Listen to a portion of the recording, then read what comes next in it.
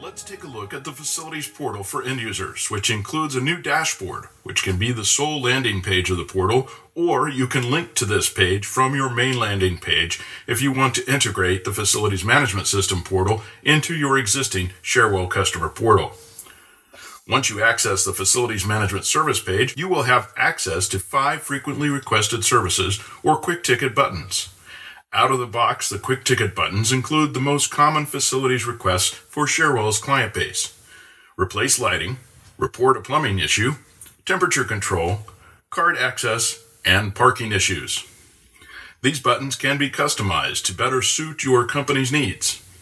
If the user does not find what they are looking for in the quick ticket buttons, they can access the complete facilities service catalog by either clicking the Browse All Services link or selecting the service catalog from the menu bar. Another feature of the Facilities MApp is the multi-tenant discussion board, which allows you to display only facilities-related announcements on the facilities landing page. If you click on any one of the five quick ticket buttons, a new work order for that issue will open and allow you to enter the details for, of your issue and submit the work order. In this case, we have the HVAC repair, which is a very simple reporting form. It asks for a description of your issue and requires you to enter a building code, which is one of the new business objects added for this MApp. Users can either type in the correct code or use the related item picker to select a building code from the building table. In this case, we will select our headquarters. Once you have entered all of your information for this work order, go ahead and click the Submit button, which will display the view-only version of the form. In this view, you can see the status of the work order, add comments, or edit and resubmit. The next section of this video will cover the Facility Service Catalog. This is a tab-based four-level service catalog.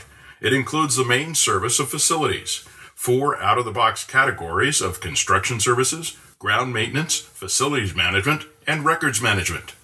You can add or change these categories to meet your specific needs. As you click on each tab, the subcategories and work order types will be displayed for the respective category.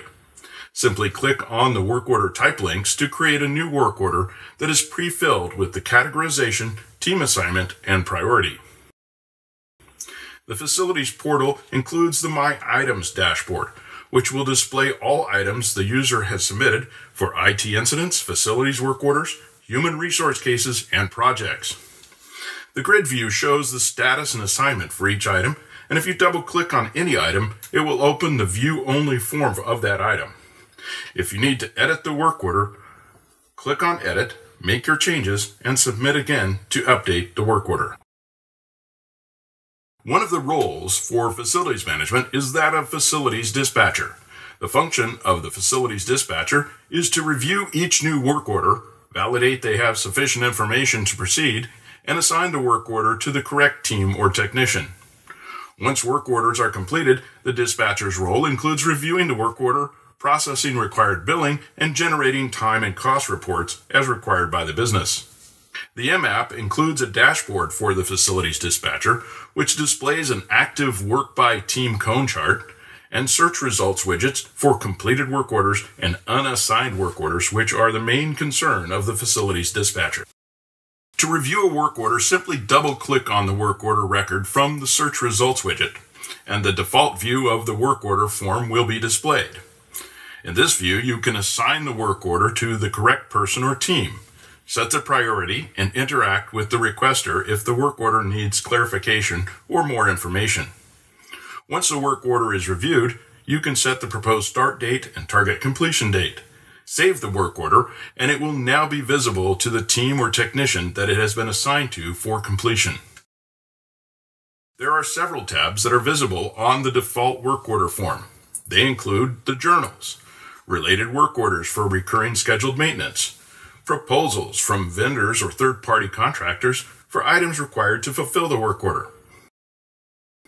To create a proposal, click on the New Proposal button and fill in the proposal fields, then save the work order.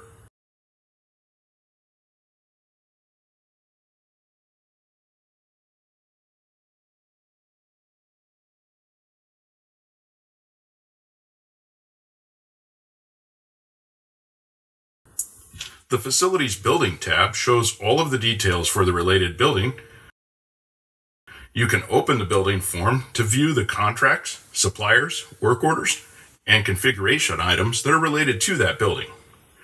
Configuration items can be ITCIs or facility CIs like HVAC or electrical.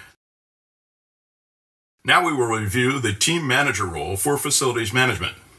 The Facilities MApp provides two dashboards targeted for the team manager role.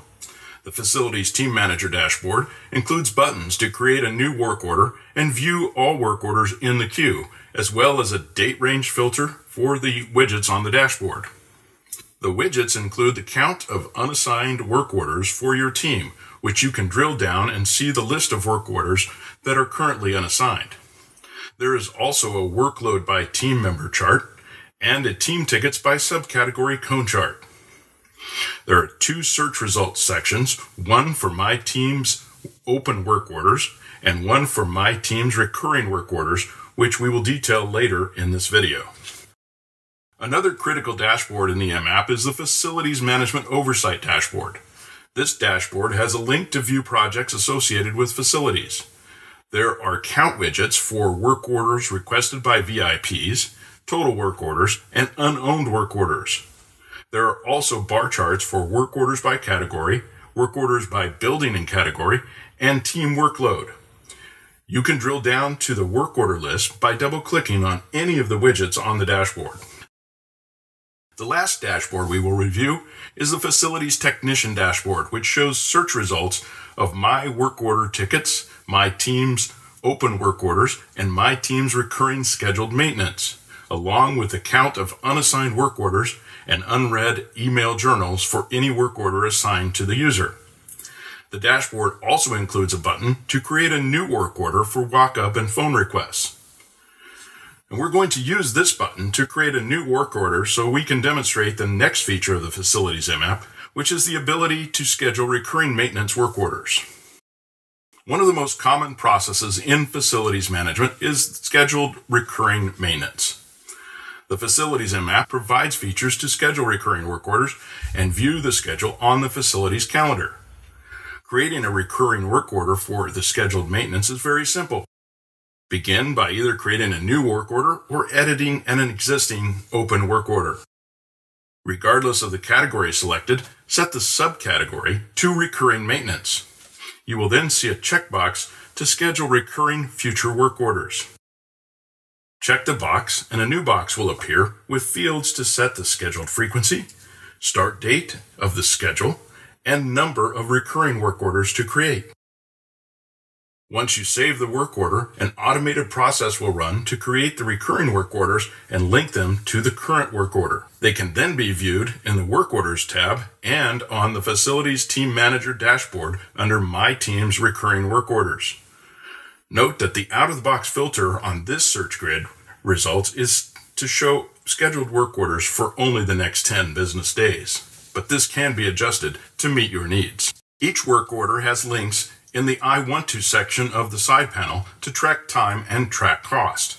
Simply click the link to track time, enter a description of what was done, and then enter the amount of hours to add that to the work order. Each link is a cumulative process, so you can add more time or costs as the work order progresses.